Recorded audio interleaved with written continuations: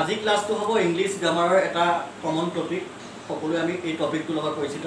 সেইটো হৈছে নাউন চ' আজি নাউনৰ বিষয়ে আমি এই শ্ৰেণীটোত এই ক্লাছটোত মই আলোচনা কৰিবলৈ গৈ আছোঁ।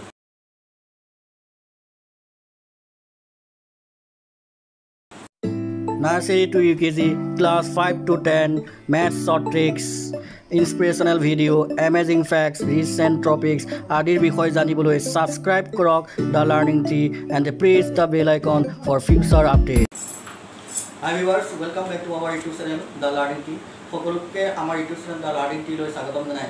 মই শ্ৰী বিশ্বজিৎ নাথে আজি আৰম্ভ কৰিবলৈ ওলাইছোঁ ইংলিছ গ্ৰামাৰৰ এটা common topic noun okay so' সকলোৱে জানা নাউন নাউন মানে কি আচলতে? চ' নাউন মানে হৈছে যে নেমিং ৱৰ্ডছ আৰ কল আমি সকলোৱে জানো যে নাম বুজোৱা শব্দবোৰকে কি বুলি কোৱা হয়? নাউন বুলি কোৱা হয়। যেনে ৰাম যদু চন্দন ওম প্ৰকাশ প্ৰাঞ্জল অ'কে যেনেকৈ যিকোনো প্লেচৰ নামৰ ক্ষেত্ৰতো হ'ব পাৰে যেনে মৰিগাঁও অ'কে চ' যিকোনো জীৱ জন্তুৰ ক্ষেত্ৰতো হ'ব পাৰে গতিকে naming words are call noun okay so' এতিয়া আহিল যে এই নাউনবিলাকৰ মেইনলি দুটা ভাগ আছে অ'কে এটা কোৱা এটা হৈছে প্ৰপাৰ নাউন আৰু আনটো হৈছে common noun okay so' proper তাৰ ৱৰ্ডটোতে লুকাই আছে যে প্ৰপাৰ নাউন বুলিলে কি বুজা হয়? যেতিয়া কোনোবা এটা বস্তু নিৰ্দিষ্টকৈ আমি দেখাই দিম মেনশ্যন কৰিম তেতিয়া তাক কি বুলি কোৱা হ'ব? প্ৰপাৰ নাউন বুলি কোৱা হ'ব। ছাপ'জ মই অলৰেডি ক'লোঁ যে ছাপ'জ চন্দন। চন্দন বুলি কোৱাৰ লগতে এতিয়া মই কি ক'লোঁ? মই চন্দনক নিৰ্দিষ্টকৈ দেখাইছোঁ। মই চন্দনক নিৰ্দিষ্টকৈ যেতিয়া মই বুজাই দিছোঁ তেতিয়া সেই নিৰ্দিষ্টকৈ যেতিয়া বুজাই দিব এজন ব্যক্তিক তেতিয়া তাক কি বুলি কোৱা হ'ব? প্ৰপাৰ নাউন বুলি কোৱা হয়। আৰু কমন কমন ৱৰ্ডটো হৈছে যে যেতিয়া কোনো একে জাতীয় যিকোনো এটা প্ৰাণী বা বস্তুৰ নাম যেতিয়া বুজাব তেতিয়া তেনে ক্ষেত্ৰত তাক কি বুলি কোৱা হ'ব? কমন নাউন বুলি কোৱা হ'ব। ছাপ'জ মই কাউ বুলি ক'লোঁ কাউ। ইয়াত মই নিৰ্দিষ্টকৈ এটা কাউ বুলি কোৱা নাই। এই কাউ বুলি কোৱাৰ লগতে সেই গোটেই গৰু মানে কাউ বুলি গৰু গোটেই তোমাক কি কৰিছে? গৰুবিলাকক বুজাইছে। গতিকে তেনে ক্ষেত্ৰত তোমাক কি হয়? সেইটো হৈছে কমন নাম। ছাপ'জ মই কিং বুলি ক'লোঁ।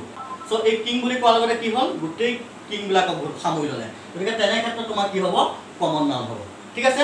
আকৌ এই কমন নাউনৰে আৰু দুটা ভাগ আছে। ইয়াত এটা হৈছে কাউণ্টেবল নাউন আৰু আনটো হৈছে uncountable noun so' countable noun মানে সেইবোৰ যিবোৰ আমি গণনা কৰিব পাৰোঁ। কি বুলি কোৱা হয়? কাউণ্টেবল নাউন বুলি কোৱা হয়। ছাপ'জ মই বইজ বুলি ক'লোঁ অ'কে ল'ৰাবোৰ। চ' ল'ৰাবোৰ বুলি কোৱাৰ লগতে আমি ল'ৰাবোৰক কি কৰিব পাৰিম? গণনা কৰিব পাৰিম। চ' তেনে ক্ষেত্ৰত তোমাৰ কি হ'ব? সেইটো হ'ব কাউণ্টেবল নাউন আৰু আনকাউণ্টেবল নাউন যিটো আমি গণনা কৰিব নোৱাৰোঁ okay suppose we drink water আমি কি কওঁ? পানী খাওঁ। চ' পানীবোৰ আমি কি কৰিব নোৱাৰোঁ? গণনা কৰিব নোৱাৰোঁ। চ' তেনে ক্ষেত্ৰত কি হ'ব? সেইটো হ'ব আনকাউণ্টেবল নাউন ঠিক আছে? এইটো আমি বুজি পাইছা? চ' কাউণ্টেবল নাউনৰ ক্ষেত্ৰত সদায় মনত ৰাখিবা কাউণ্টেবল নাউনৰ ক্ষেত্ৰত এ এন ডি এইবোৰ ব্যৱহাৰ কৰা হয় অ'কে কিন্তু আনকাউণ্টেবল নাউনৰ ক্ষেত্ৰত এইসমূহ ব্যৱহাৰ কৰা নহয়। এতিয়া মই যি যি কৈছিলোঁ যে কাউণ্টেবল আৰু আনকাউণ্টেবল নাউনৰ ক্ষেত্ৰত কৈছিলোঁ তোমালোকে এটা বস্তু মনত ৰাখিবা যে কাউণ্টেবল নাউনৰ ক্ষেত্ৰত তোমাৰ কি হয় ছিংগুলাৰ নাম্বাৰ আৰু প্লুৰেল নাম্বাৰ দুয়োটাই ব্যৱহাৰ হয়। অ'কে এইটো কথা মনত ৰাখিবা। আৰু আনকাউণ্টেবল নাউনৰ ক্ষেত্ৰত অকল ছিংগুলাৰ নাম্বাৰহে ব্যৱহাৰ হয়। এজ ফৰ এক্সাম্পল যেতিয়া কাউণ্টেবল নাউন ছাপ'জ মই কি ল'লোঁ? ছাপ'জ ডগ ডগ চ' মই যদি কওঁ the this is a dog ইয়াত ডগটো কি হৈছে মই কাউণ্টেবল হিচাপে আমি ডগ কেইটা আছে আমি গণনা কৰিব পাৰোঁ যে দিছ ইজ এ ডগ চ' এটা ইয়াত ডগৰ কথা কৈছে গতিকে ইয়াত মই কি কৰিছোঁ ইজ ব্যৱহাৰ কৰিছোঁ okay that means singular number ব্যৱহাৰ কৰিছোঁ। আকৌ যদি মই এনেকৈ লিখোঁ যে dogs are barking okay so' ইয়াত ডগবিলাকে কি কৰিছে ভুকি আছে বুলি কৈছোঁ। গতিকে ইয়াত তোমাৰ কি কৈছে ইয়াত মই কি ব্যৱহাৰ কৰিছোঁ আৰ ব্যৱহাৰ কৰিছোঁ। ডেট মিনছ কি হৈছে যে যিবিলাক কাউণ্টেবল নাউন সেই কাউণ্টেবল নাউনৰ ক্ষেত্ৰত কি হয় ছিংগুলাৰ নাম্বাৰো হয় প্লুৰেল নাম্বাৰো হয়। অ'কে দুয়োটাই হয়। কিন্তু আনকাউণ্টেবল নামৰ ক্ষেত্ৰত আমি অকল কি কৰিব লাগিব? ছিংগুলাৰ নাম্বাৰ ব্যৱহাৰ কৰিব লাগিব। Suppose for example milk is white ইয়াত তোমাৰ কি হৈছে? গাখীৰ আমি গম পাইছোঁ গাখীৰ। গতিকে মিল্ক কি হয়? আনকাউণ্টেবল হয়। আৰু এই আনকাউণ্টেবলৰ ক্ষেত্ৰত কি কি ব্যৱহাৰ কৰা হৈছে? ছিংগুলাৰ নাম্বাৰ ব্যৱহাৰ কৰা হৈছে। চ' এটা কথা তোমালোকে মনত ৰাখিবা যে কাউণ্টেবল নাউনৰ ক্ষেত্ৰত ছিংগুলাৰ নাম্বাৰ আৰু প্লুৰেল নাম্বাৰ দুয়োটাই ব্যৱহাৰ হয়। কিন্তু আনকাউণ্টেবল নাউনৰ ক্ষেত্ৰত অকল ছিংগুলাৰ নাম্বাৰহে ব্যৱহাৰ কৰা হয়। তোমাৰ আৰু এটা কথা তোমালোকে মনত ৰাখিবা যে কাউণ্টেবল নাউনৰ ক্ষেত্ৰত few a few the few many several এইবিলাক পদ ব্যৱহাৰ কৰা হয়। আৰু আনকাউণ্টেবল নাউনৰ ক্ষেত্ৰত little the little the few much. এই শব্দসমূহ ব্যৱহাৰ কৰা হয়। অ'কে বহু ক্ষেত্ৰত এই এই কথাটো মনত ৰাখিবা। মেনি আৰু মাছ এইটো বহুত ছাত্ৰ ছাত্ৰীয়ে ভুল কৰা দেখা যায় আৰু এইটো পৰীক্ষাত কিন্তু প্ৰায় কনফিউজিং হয় কাৰণে প্ৰায় এক্সামত দি থাকে।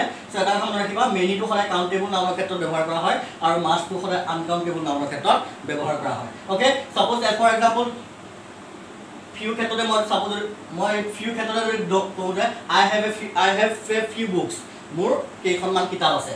চ' এতিয়া কিতাপবোৰ কি হ'ব? কিতাপবোৰ আমি গণনা কৰিব পাৰোঁ। চ' যিহেতু গতিকে তাৰ ক্ষেত্ৰত কি ব্যৱহাৰ হ'ব? এফ ইউ ব্যৱহাৰ কৰা হ'ব। চ' ইয়াত যদি মই ক'বলৈ যাওঁ যে there is a there is a little milk in the cup okay কাপটোত কি আছে? অলপমানহে কি আছে? মিল্ক আছে। যিহেতু আমি গাখীৰ গণনা কৰিব নোৱাৰোঁ গতিকে তেনে ক্ষেত্ৰত আমি কি ব্যৱহাৰ কৰিছোঁ? লিটিল ব্যৱহাৰ কৰিছোঁ। আৰু যিবোৰ গণনা কৰিব পাৰি তেনেবোৰ ক্ষেত্ৰত কি ব্যৱহাৰ কৰা হয়? ফিউ এফ ইউ আৰু দা ফিউ গণনা কৰা হয়। এতিয়া আহিলোঁ নাউনৰ কিছুমান স্পেচিয়েল কণ্ডিশ্যন আছে। সেই স্পেচিয়েল কণ্ডিশ্যনসমূহ বিষয়ে মই আলোচনা কৰিবলৈ গৈ আছোঁ।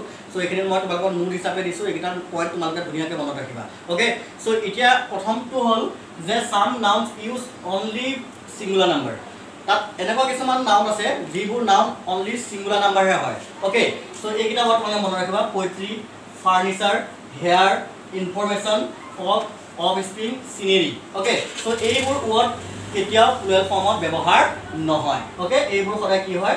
ছিংগুলাৰ নাম্বাৰহে ব্যৱহাৰ হয়। As for example suppose he writes good poetry okay so' এনেবোৰ ক্ষেত্ৰত সদায় মনত ৰাখিবা যে এইবোৰ ৱৰ্ড সদায় ছিংগুলাৰ নাম্বাৰহে ব্যৱহাৰ কৰা হয় অ'কে চ' নেক্সট আহিছে কিছুমান some noun use only in the plural form আৰু কিছুমান ৱৰ্ড আছে নাউন আছে যিবোৰ সদায় কি হয়? প্লুৱেল ফৰ্মতহে ব্যৱহাৰ কৰা হয়। যেনে এনেলছ মিছেলছ থেংকছ অ'কে আমি জেনেৰেলি কওঁ যে thanks for your health okay so' এনেবোৰ ক্ষেত্ৰত সদায় কি কৰিব এইবোৰ ৱৰ্ড সদায় কি হয় প্লুৱেল ফৰ্মতহে ব্যৱহাৰ কৰা হয়। ডেট মিনছ এই এনেধৰণৰ ৱৰ্ডসমূহ কি হয় প্লুৱেল ফৰ্মত ব্যৱহাৰ হয়। আৰু এনে কিছুমান ৱৰ্ড আছে some noun plural in form but treated as singular মানে এনেকুৱা কিছুমান ৱৰ্ড আছে যিবোৰ আমি প্লুৱেল ফৰ্মত লিখোঁ কিন্তু আচলতে সেইবোৰ কি বুজায় ছিংগুলাৰ ফৰ্মহে বুজায়। ফৰ এক্সাম্পল মেথমেটিক্স আমি সদায় লিখোঁতে কি হিচাপে লিখোঁ? মেথমেটিক্স হিচাপে লিখোঁ ফিজিক্স হিচাপে লিখোঁ বা নিউজ বুলি কওঁ। কিন্তু আচলতে এইবোৰ ৱৰ্ডে কি বুজায়? ছিংগুলাৰ নাম্বাৰ বুজায়। যদিও ইয়াত এছ লাগি আছে সাধাৰণতে আমি এছ লাগিলে কি ভাবোঁ? যে এইটো প্লুৱেল ফৰ্ম আচলতে সেইটো নহয় যে ইয়াত এছ যদিও লাগিছে যদিও ইয়াত প্লুৱেল ফৰ্ম যেন লাগিছে আচলতে এইবোৰ কি হয়? ছিংগুলাৰ ফৰ্মহে হয়। As for example suppose mathematics is my favourite subject যে মেথমেটিক্সটো মোৰ ফেভাৰেট ছাবজেক্ট যদিও ইয়াত তোমাৰ এতিয়া কি হ'ল? যে mathematics mathematics is my favourite subject so' ইয়াত বহুতে ভাবিব পাৰে যে যিহেতু ইয়াত এছ আছে ডেট মিনছ ই প্লুৱেল ফৰ্ম বুজাইছে গতিকে ইয়াত কি ব্যৱহাৰ কৰিব লাগিব? আৰ ব্যৱহাৰ কৰিব লাগিব বুলি ভাবিব। কিন্তু আচলতে সেইটো নহয়।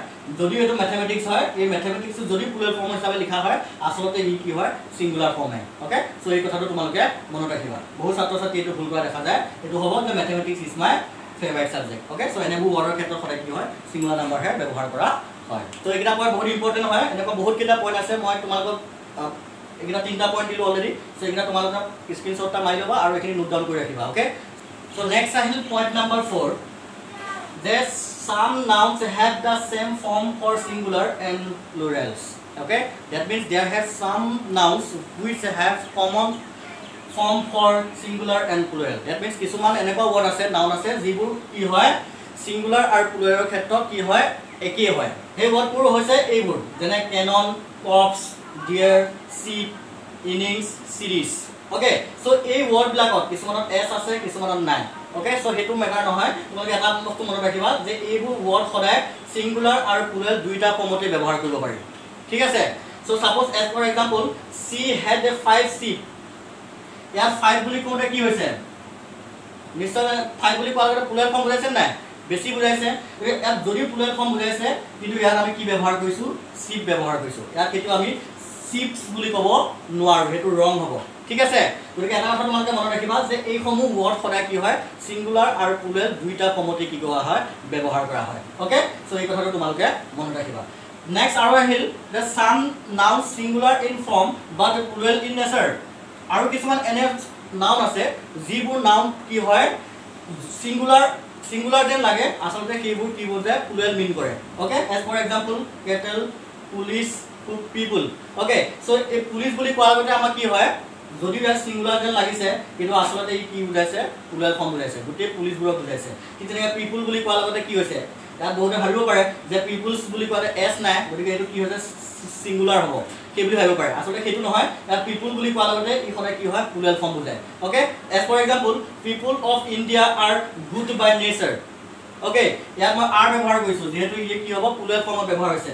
তাৰ এটা কথা মনত ৰাখিবা যে এনেধৰণৰ ৱৰ্ডসমূহ যেনে কেটেল পুলিচ পিপুল এনেকুৱা ধৰণৰ ৱৰ্ডবোৰ সদায় কি হয় যদিও ছিংগুলাৰ যেন দেখাত লাগে আচলতে এইবিলাক এইবোৰ কি হয় প্লুৰেল ফৰ্মতহে ব্যৱহাৰ কৰা হয়। চ' এইকেইটা পইণ্ট মনত ৰাখিবা। অ'কে বিশেষকৈ এই ৱৰ্ডসমূহ মনত ৰাখিবা। নেক্সট আহিল চোৱা পইণ্ট নাম্বাৰ ছিক্স দেশৰ নামৰ শেষত দেশৰ মানে কাণ্ট্ৰি এছ বা ই এছ থাকিলেও এইবোৰ ছিংগুলাৰ হিচাপে ব্যৱহৃত হয়। অ'কে চ' যেতিয়া আমি ছাপ'জ এক্সাম্পল দিলে চোৱা যে United States is a rich country so' ইয়াত যিহেতু এছ আছে অ'কে চ' বহুতে ভাবিব পাৰে যে ইয়াত এছ যদিও আছে গতিকে যিহেতু এছ দেখাৰ লগতে ভাবিব পাৰে যে এইটো প্লুৰেল ফৰ্ম আচলতে এইটো নহয় যে যিবোৰ দেশৰ নামৰ আগত এছ বা ই এছ থাকিলেও সেইবোৰ কিন্তু কি নহয় প্লুৰেল নহয় সেইবোৰ ছিংগুলাৰ হিচাপেহে ব্যৱহৃত হয় okay as for example United States is a rich country okay so' ইয়াত কি ব্যৱহাৰ কৰিছোঁ ইজ ব্যৱহাৰ কৰিছোঁ। যিহেতু ইয়াত এইটো ইউনাইটেড ষ্টেটটো ছিংগুলাৰ নাম্বাৰ হিচাপেহে ব্যৱহৃত হৈছে অ'কে নেক্সট এইটো চাবা যে আমি যে two thirds three fourth four fifth আদিৰ লগত প্লুৰেল ফৰ্ম ব্যৱহাৰ কৰিব লাগে। এইটো বহুত ছাত্ৰ ছাত্ৰীয়ে ভুল কৰি থাকে বহুতে কি লিখে? টু থাৰ্ড থ্ৰী ফ'ৰ্থ এনেদৰে লিখে। আচলতে তাত কি নহয় তাত কি লাগিব? এছটো লগ লাগিব। অ'কে ইয়াক কি হিচাপে ব্যৱহাৰ কৰা হ'ব? প্লুৰেল ফৰ্ম হিচাপে ব্যৱহাৰ কৰা হ'ব। ডেট মিনছ তাত যিটো পিছৰ ৱৰ্ড থাকিব তাৰ লগত সদায় কি লাগিব? এছ লাগিব। Okay two thirds three fourth okay four fifth এনেদৰে ব্যৱহাৰ কৰা হয়। As for example okay three fourth of the earth surface is covered with water okay গতিকে ইয়াত তোমাক কি ব্যৱহাৰ কৰিছে এছ ব্যৱহাৰ কৰা হৈছে। আৰু এইটো নাভাবিবা যে ইয়াত এছ ব্যৱহাৰ কৰাৰ লগতে ই কি হ'ব? প্লুৰেল ফৰ্ম হ'ব। সেইটো নহয় ই সদায় কি হিচাপে ব্যৱহাৰ হয়? ছিংগুলাৰ নাম্বাৰ হিচাপেহে ব্যৱহাৰ কৰা হয়। পইণ্ট এইট যে এইটো এইটো পইণ্ট মনত ৰাখিবা বহু ছাত্ৰ ছাত্ৰীয়ে ভুল কৰা দেখা পোৱা যায় যে মোৰ দেন ওৱানৰ লগত ছিংগুলাৰ ভাৱৰ ব্যৱহাৰ হয়। এতিয়া তোমালোকে ভাবিব পাৰা যে মোৰ বুলি ক'লে বহুত বুজাইছে অ'কে চ' মোৰ দেন ওৱান মানে এটাতকৈ বেছি বুজাইছে। গতিকে বহুতে ভাবিব পাৰে যে এই ক্ষেত্ৰত তোমাক কি ব্যৱহাৰ হয়? প্লুৰেল ফৰ্ম ব্যৱহাৰ হয়। আচলতে সেইটো ভুল অ'কে চ' এটা মনত ৰাখিবা যে মোৰ দেন ওৱানৰ লগত সদায় ছিংগুলাৰ ভাৰ্বহে ব্যৱহাৰ হয় okay as for example more than one student attends the lecture okay so' ইয়াত তোমাৰ কি হ'ব? ছিংগুলাৰ ফৰ্মহে ব্যৱহাৰ হৈছে অ'কে নেক্সট আহিল যে মোৰ দেন টুৰ লগত সদায় কি হয়? প্লুৰেল ফৰ্ম ব্যৱহাৰ হয়। অ'কে চ' এই কথাটো মনত ৰাখিবা যে মোৰ দেন ওৱানৰ লগত সদায় ছিংগুলাৰ ফৰ্ম ব্যৱহাৰ হয় আৰু মোৰ দেন টুৰ লগত সদায় কি হয় প্লুৰেল ফৰ্ম ব্যৱহাৰ হয়। For example more than two were present so' ইয়াত মই কি ব্যৱহাৰ কৰিছোঁ?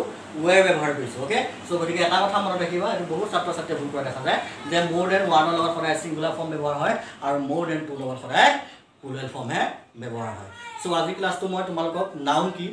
নাউনৰ ভাগসমূহ অ'কে আৰু লগতে নাউনৰ কেইটামান স্পেচিয়েল কণ্ডিশ্যনৰ ব্যৱহাৰৰ বিষয়ে তোমালোকক মই আজি এই ক্লাছটো শিকালোঁ। চ' আশা কৰোঁ সকলোৱে ভাল পালা। গতিকে নেক্সট পুনৰ গ্ৰামাৰৰ আন এটা ক্লাছ লৈ পুনৰ তোমালোকৰ মাজত আকৌ আহিম। চ' আজি ক্লাছটো ইমানতে সামৰিলোঁ।